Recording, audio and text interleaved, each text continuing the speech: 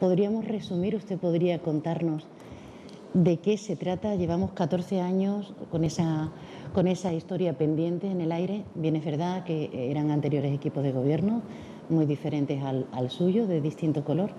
¿Qué ha pasado para que ahora esa nueva tormenta, si me permite la expresión, vuelva a la palestra en este caso y nos tengamos que ocupar de ello? Porque yo creo que a fin de cuentas la ciudadanía puede que se pierda, ¿no? En la esencia y en la importancia de lo que se trata del PEGO.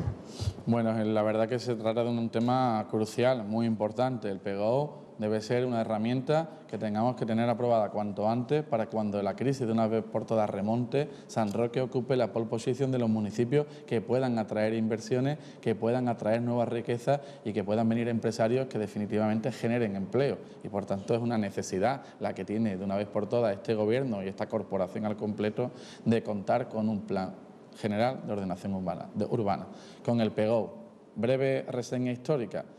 El contrato con el señor Recuenco se firma en el año 98. Se supone que se contrata a un catedrático de la Universidad de Sevilla que tiene toda la competencia y toda la capacidad para realizar un documento. En el año 99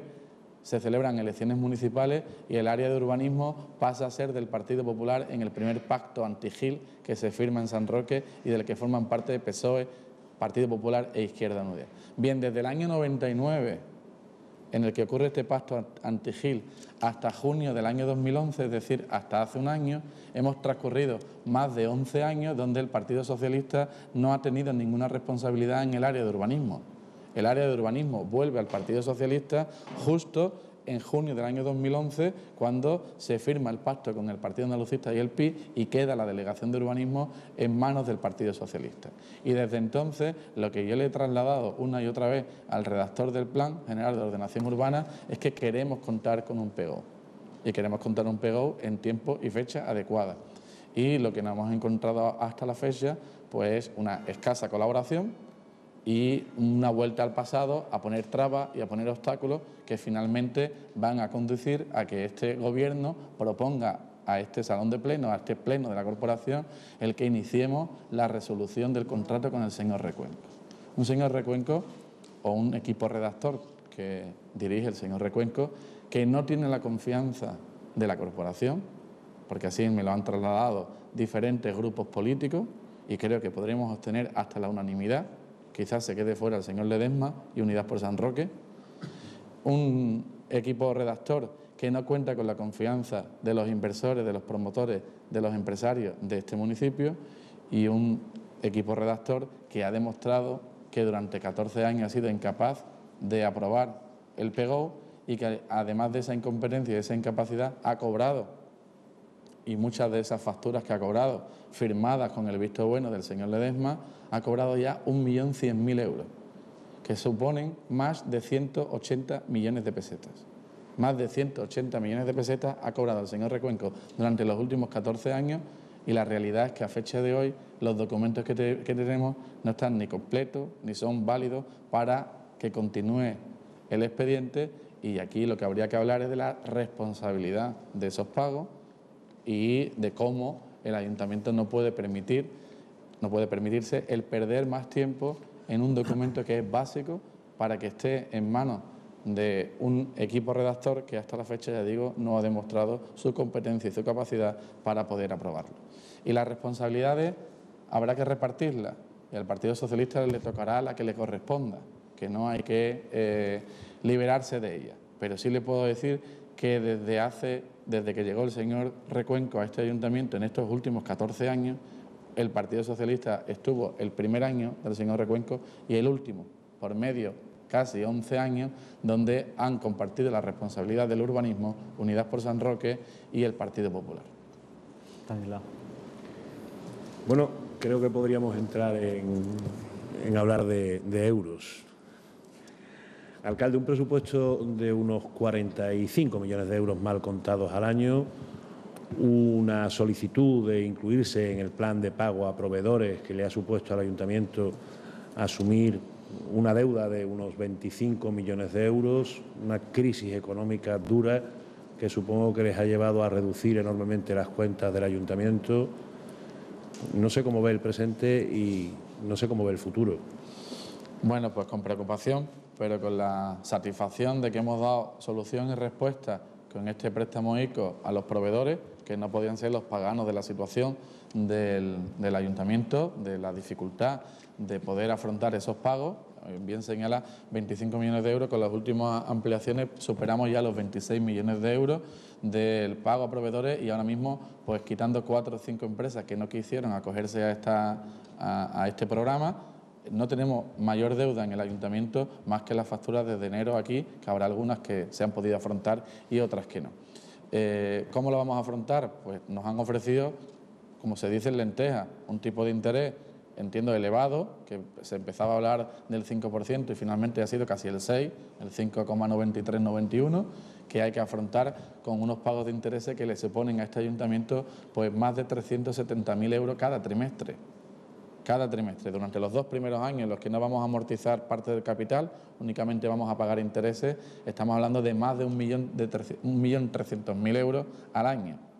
que tenemos que afrontar de intereses. Pero es que en mayo del año 2014, dentro de un año y poco, tendremos que comenzar a realizar el pago. Y las cuotas se van a convertir, en lugar del millón trescientos, en cuatro millones setecientos mil euros, que tendremos que sacar de los fondos corrientes de ese año 2014 para pagar deudas que se han generado en la última década. Como comprenderá, cuando hay menos ingresos, cuando la actividad urbanística prácticamente está paralizada y no provoca ningún, ingreso, cuando además tenemos que realizar más pagos porque nos han subido el IVA y hay que afrontar pues, facturas más caras, pues nos cuesta, pues la verdad, mucho trabajo el poder completar ese equilibrio y el tener pues, unos presupuestos equilibrados que nos produzca además eh, un superávit para ir reduciendo parte de la deuda que no corresponde a los proveedores, sino a los bancos, donde este ayuntamiento, pues desgraciadamente también tiene con una deuda superior a los 27 millones de euros, entre la deuda a largo y la deuda a corto plazo. Entonces, estamos hablando de una dificultad importante que ahora mismo eh, la estamos afrontando con una política de austeridad, la verdad que muy seria, que dirige eh, mi compañero del Partido Independiente del Valle del Guadiaro la Delegación de Hacienda, el señor Mayoral, que aprieta pues, bastante las tuercas a los compañeros de gobierno y que nos está provocando pues, dificultad en el desarrollo de las tareas, pero que salen adelante prácticamente todos los programas que había, con mayor innovación, con mayor esfuerzo por parte de los funcionarios y con un mayor sacrificio también por parte de los políticos que tratan de, realizar las mismas tareas sin que se note esa reducción de dinero, pero cada vez el, apretar tanto pues está o puede provocar el que tengamos que eliminar algunos servicios, que no es nuestra intención. Por ejemplo, y cierro, no me quiero alargar mucho en la respuesta, para el, estamos trabajando en el presupuesto del año 2013, todas las partidas de gasto, quitando las partidas sociales, van a tener una merma del 12%. Una merma del 12% cuando estás asegurando el no despedir a ningún trabajador, el que se mantengan todo el empleo que había en el ayuntamiento y en sus cuatro empresas, pues hace que los programas sean difícil su desarrollo y que además al mismo tiempo pues estamos llevando una política fiscal pues de la más baja de la provincia y todo ello pues nos hace presentar unos números que nos aseguran un superávit en el año 2013 pero que nos va a hacer más difícil la tarea y la montaña va a ser mucho más alta cuando lleguemos al 2014 y tengamos que afrontar no solo el pago de intereses, sino ya lo que es el préstamo de, esos proveedores. En definitiva, creo que estamos trabajando con grandes eh, dificultades, pero creo que la nave viaja a pocos nudos, pero sigue navegando y creo que da pues, un ejemplo de seriedad en lo que es los municipios de la comarca del campo de Gibraltar. Vamos a continuar, A día de hoy, entonces, eh, señor alcalde, ¿cuál sería la situación económica desde su punto de vista del eh, ayuntamiento? ¿Peligran, eh, ¿Peligra el pago de las nóminas a los funcionarios, como ocurren en otros ayuntamientos como La Línea o como los barrios? Bueno, eh, hay que distinguir hasta, hasta mayo del 2014. Hasta mayo del 2014, el trabajo serio que se viene realizando en la Delegación de Hacienda, la colaboración que están prestando todos los compañeros de gobierno, los concejales en sus delegaciones, tratando de reducir al máximo los gastos y de no reducir los programas, pues venimos realizando programas y pocas inversiones pues yo creo que con mm, el mayor de los esfuerzos y de una forma contenida con los ingresos que hoy en día tenemos. Esta situación se complica, como bien digo, a partir de mayo del 2014, donde tendremos que afrontar pues una cuota de 4.700.000 euros al año con los mismos ingresos, porque no queremos realizar mayores eh, eh, subidas de impuestos a los ciudadanos y, por tanto, dificulta la tarea, porque la reducción de los gastos corrientes está ya en unos máximos que si reducen más, pues lo que viene abocado es a perder actividad o a perder programas. Por tanto, yo creo que si seguimos en esta tarea de programa de austeridad serio, de poco incremento de actividades, sino mantener las que ya se vienen realizando y al mismo tiempo dedicamos grandes esfuerzos a que todos los ciudadanos paguen sus impuestos y que no haya bolsas de fraude o que no haya bolsas de unidades de vivienda que no están sumadas a los padrones, pues si hacemos ese esfuerzo no habrá ningún tipo de problema. Es uno de los retos que tiene este alcalde y este gobierno el no despedir a ningún trabajador. Cuando llegamos nos encontramos con dos planes de saneamiento, uno económico-financiero